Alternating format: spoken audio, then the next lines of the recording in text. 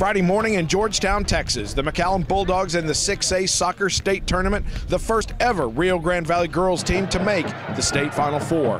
McAllen would play from behind early, though, 38 seconds into the game. A tremendous effort from Houston Memorial's Grace Yoakum makes it 1 0 Mustangs. In the 21st minute, Bulldogs would get their best chance of the game. Ava Alanese, the beautiful cross off the head of Maria Ramirez, but just over the crossbar. Bulldog sophomore keeper Lexi Gonzalez, stellar in net, seven saves, but Houston Memorial scores late for a 2 0 result. McAllen falls at state, but makes history in the process.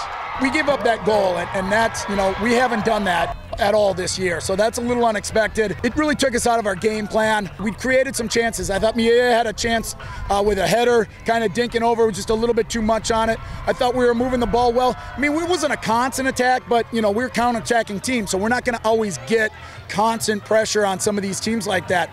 But we had some chances, and. Uh, you know, I got to give credit to uh, Houston Memorial. They, they put a clamp down on us in the second half. They did a good job, but you know, we still had some chances. We just weren't able to, you know, to get that lucky bounce. It was an amazing experience. I'm so glad that we got this far. Being the first Valley team was like to come up here is amazing. Now that we know that we can come up here and play all these amazing teams, we're just going to be improving each like time we play against one of like the same teams. We talk about leaving a legacy. We talk about doing everything we can to to, to you know to go as far as we can and, and and these girls did a great job they're you know the whole valley's got uh, got to, got to be proud in the way these girls played today. Houston Memorial would go on to take the 6A championship game 3 0 over Lewisville Marcus, while McAllen's Lexi Gonzalez and midfielder Weston Henderson were both named to the 6A state all tournament team, the only two sophomores on that prestigious squad.